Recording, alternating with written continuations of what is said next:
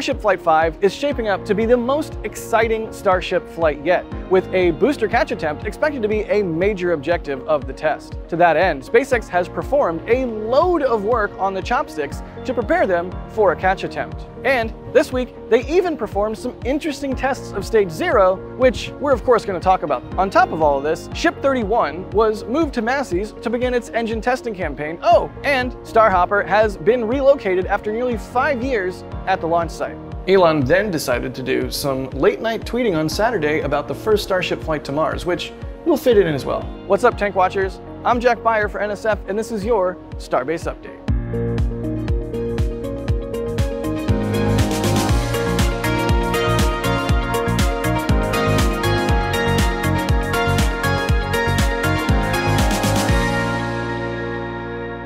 Before we talk about what's going on here in Starbase, let's first take a trip to SpaceX's engine testing facility in McGregor, Texas, where a Block 2 header tank labeled S-34 was tested earlier this week.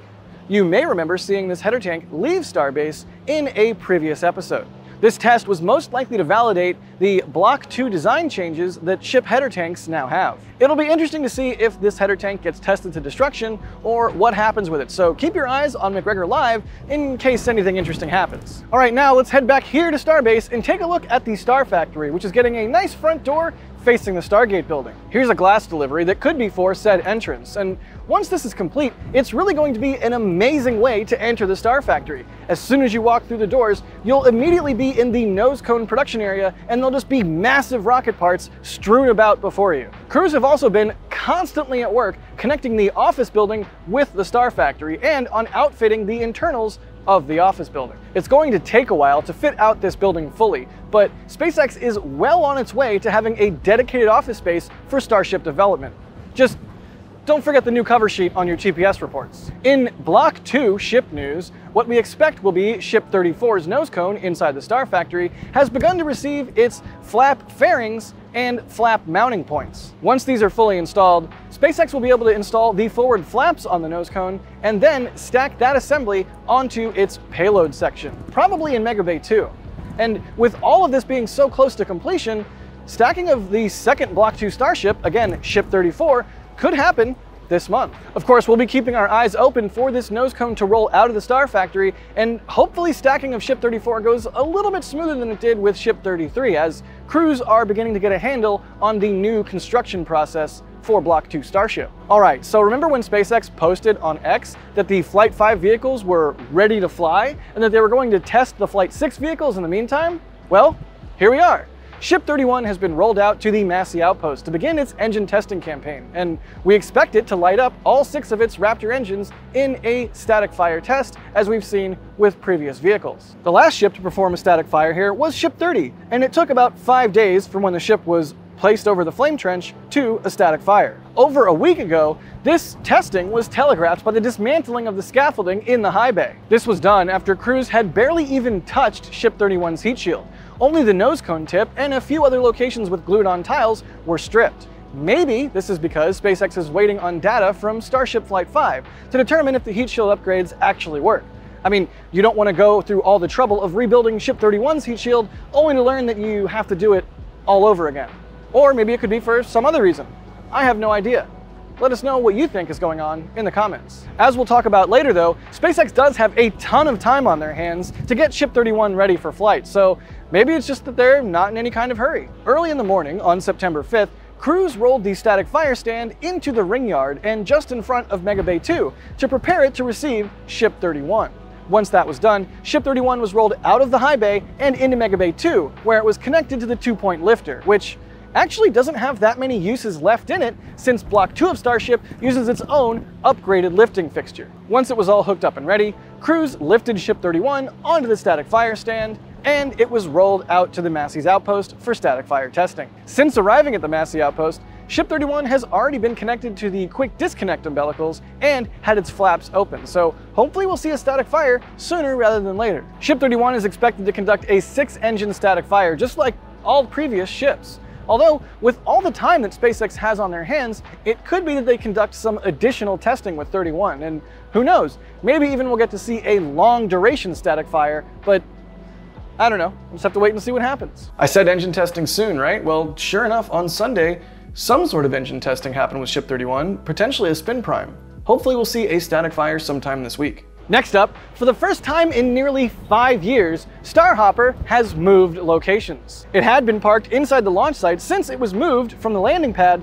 on October 4th or 5th, 2019 after completing its 150 meter hop on August 27, 2019. Now, since SpaceX has long since scrapped the moving jig for Starhopper, this time teams had to get a little creative. SpaceX used a pair of 12-axle SPMTs, or self-propelled modular transporters, along with crane cribbing and some pipe stands to reach the bottom skirt of Starhopper.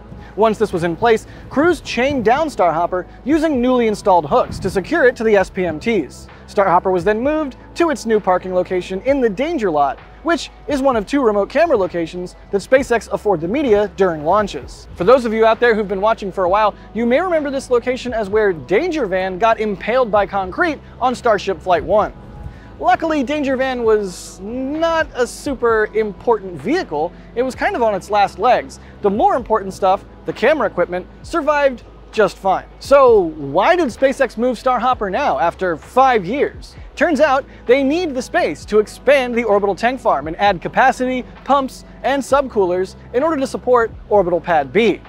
Now that Starhopper's out of the way, teams can begin laying the foundations for these expansions to the tank farm. With SpaceX going through all the trouble to move Starhopper, I am a little bit hopeful that it won't ever be scrapped because, you know, they could have just scrapped it right in place rather than moving it. So hopefully, at least some vehicles are sacred to SpaceX. Moving right along, as teams continue to work furiously on Pad A to prepare it for a catch, they've also been working continuously on Pad B.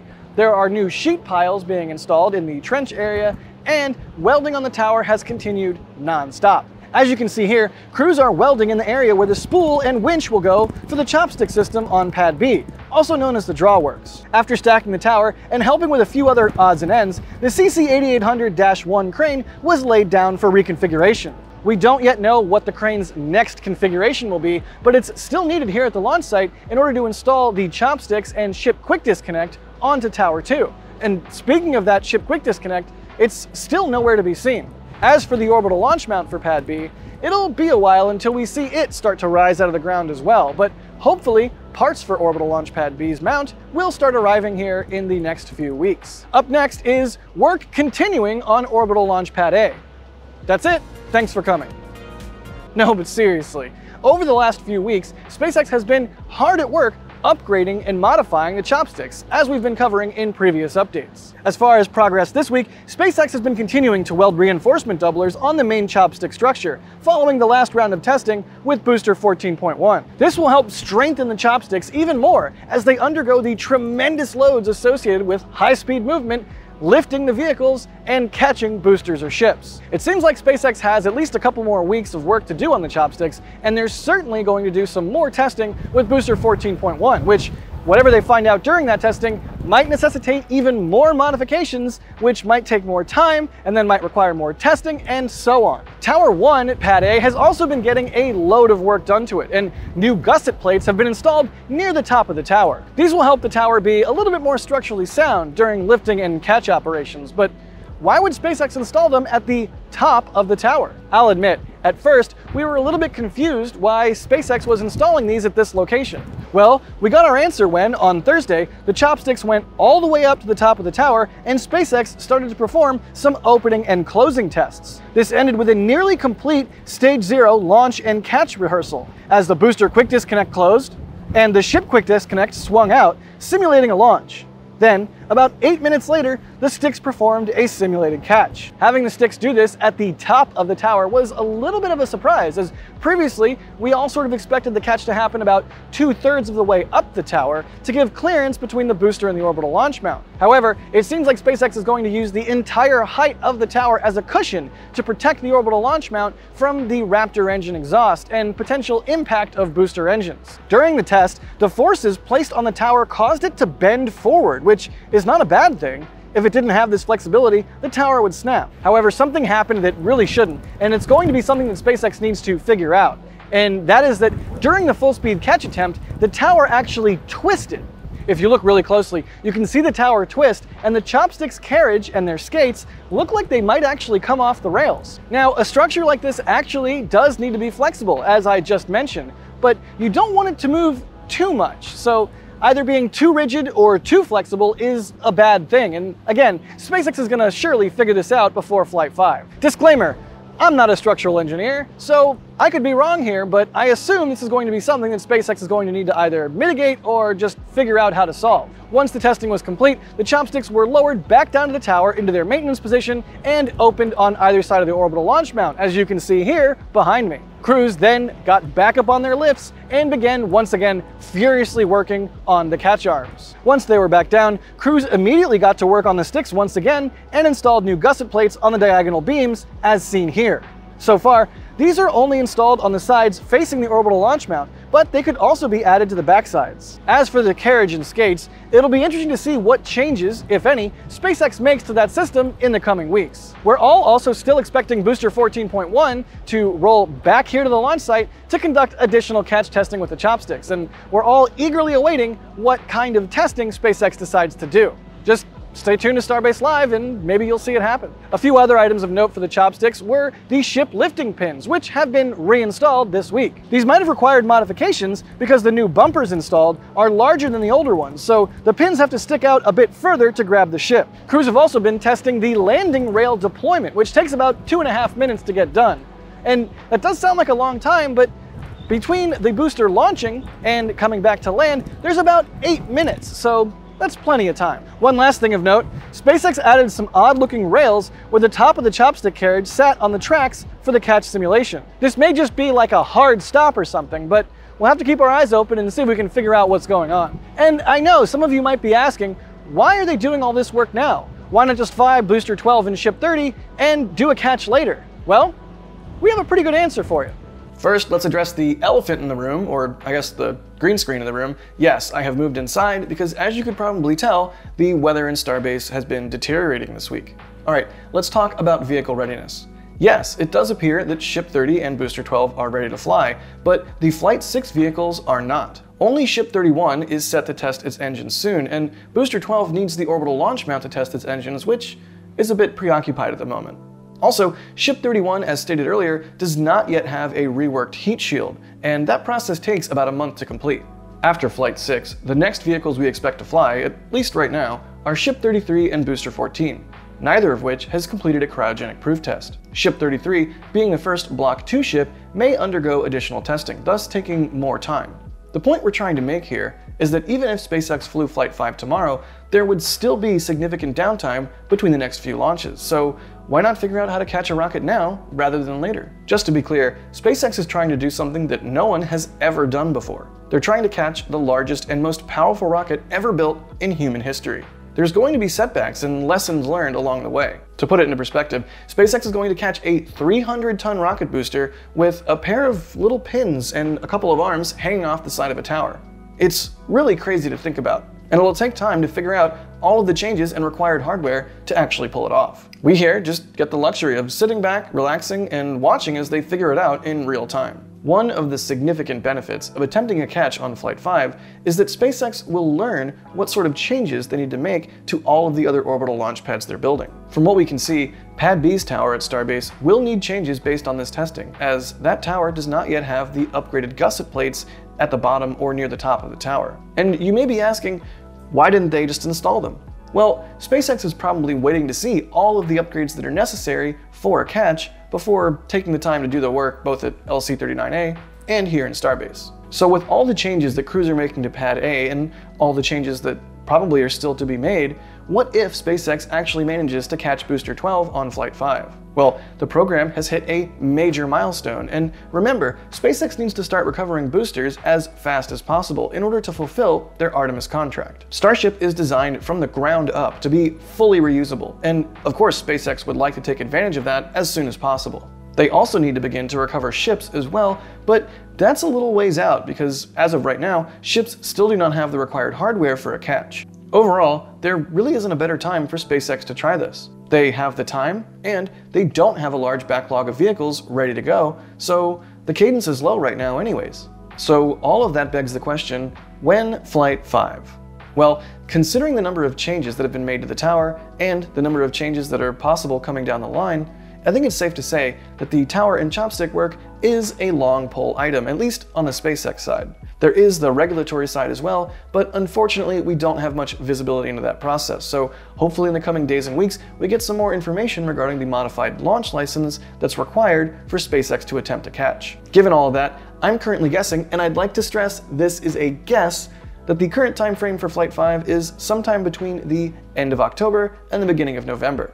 I don't think the beginning of October is necessarily ruled out yet. However, it makes a lot of sense to me that with all of the work that we're seeing going on, it would slip a little bit further, maybe to the end of October or beginning of November. So again, that's my current guess. And again, it is a guess. We'll just have to wait and see how the coming weeks play out. Truthfully, I don't even think SpaceX knows. At least I sure don't. Another example of why SpaceX is trying to catch a booster now rather than later has been laid out on X by SpaceX CEO Elon Musk. First, Elon mentioned that Starship can do around 100 tons to a Starlink orbit, which is about what's expected of Block 2 of Starship. Along with reiterating the Starship's payload capacity, he also set a very ambitious goal. To quote Elon himself, quote, the first Starships to Mars will launch in two years when the next Earth-Mars transfer window opens. These will be uncrewed, to test the reliability of landing intact on Mars. If those landings go well, then the first crewed flights to Mars will be in four years. This is a very ambitious plan for SpaceX to achieve in such a short time, considering where the program currently is.